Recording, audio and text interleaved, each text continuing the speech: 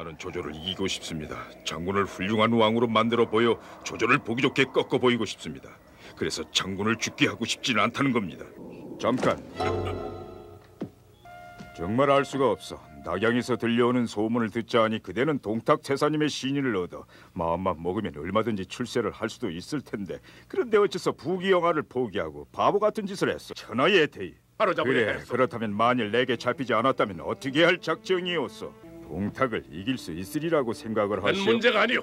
그래요 대장부의 뜻이라. 실은 나도 나라의 앞날을 걱정하고 있어.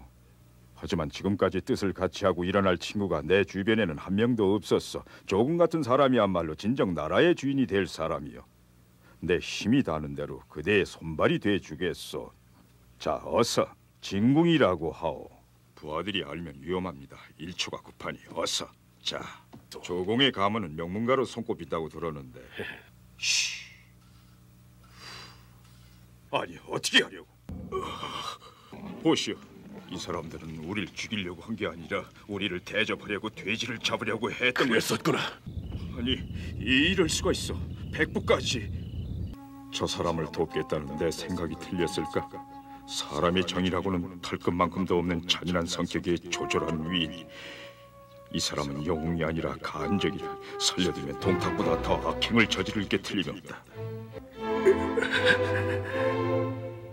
아니야 내가 지금 이 사람을 죽인다면 이 사람을 살려주면서 내가 품었던 정의를 위한 마음을 내 스스로 배신한 거랑 마찬가지다 이 사람이 죽을지 아니면 끝까지 살아남을지는 하늘에 맡기는 수밖에. 잘 가거라 조조. 너는 네 갈 길을 찾아가라. 나는 내 뜻대로 살겠다. 안 됩니다. 함정일지 모릅니다. 조조만한 인물이라면 시신을 고향으로 웅구에 가서 거기서 장례식을 치를 거요. 저 장례 행렬은 어째 좀 수상합니다. 장군, 하늘이 장군을 버리는 게 아니라 장군이 하늘의 뜻을 거슬렸습니다. 내 충고를 조금만 귀담아 들으셨더라도 이렇게 패하진 않았을 텐데. 나는 조조를 이기고 싶습니다. 장군을 훌륭한 왕으로 만들어 보여 조조를 보기 좋게 꺾어 보이고 싶습니다. 그래서 장군을 죽게 하고 싶지는 않다는 겁니다.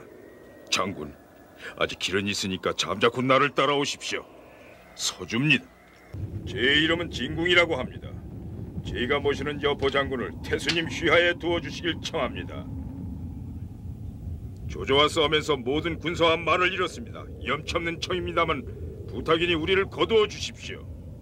장군님 어디로 가십니까? 당연하니 진정하십시오.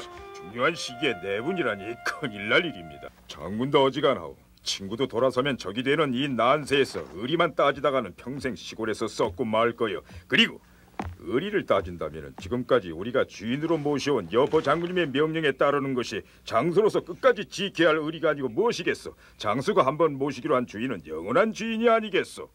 여포라는 사람은 신의를 말하는 장녀의 심정을 죽을 때까지 알지 못할 것이다. 장군님! 장군님, 지금은 주색에 빠져 있을 때가 아닙니다. 조조의 군대는 먼 길을 걸어오느라 지쳐 있고 식량도 다 떨어졌을 것입니다. 지금 군사를 내어 공격해야 합니다, 장군님. 안 됩니다. 이 기회를 놓쳐버리면 천하를 잃어버립니다. 신중하게 생각해 주십시오, 장군님. 복벌려. 여보, 나도 이제 네게도 기대할 게 없다. 넌 절대로 천하를 얻지 못할 것이다. 늑대 새끼는 늑대가 될 뿐. 잘 있거라.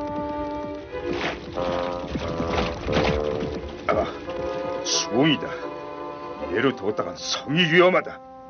장군, 속으면 안 됩니다. 저 거짓말에 속으면 목숨이 몇 개라도 살아남지 못합니다. 저저, 대역 죄는 바로 너다. 죄 없는 백성을 학살하고 천자를 우롱하며 관직을 도둑질한 도둑놈아! 처벌을 받아라! 하, 지고 말았구나. 싸움에 저 포로가 된 사람에게 작은 인정도 베풀지 않는 널 진작부터 알아봤었다. 네 밑에서 일을 하지 않은 게 지금 생각해도 다행스럽다. 여포는 그래도 너보다는 훨씬 낫다. 너무 정직해. 눈앞에 있는 것밖에 보질 못해서 그렇지. 쓸데없는 말 말고 어서 목을 베어라. 살려달라고 빌 줄 알았느냐? 조조, 부디 오래 살길 바란다. 늦었다. 그만 가자.